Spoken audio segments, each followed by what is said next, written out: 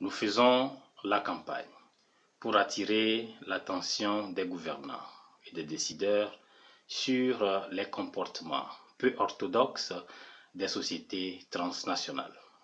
En effet, ces sociétés mènent des activités qui non seulement polluent l'environnement, mais violent les droits des communautés locales et des peuples autochtones.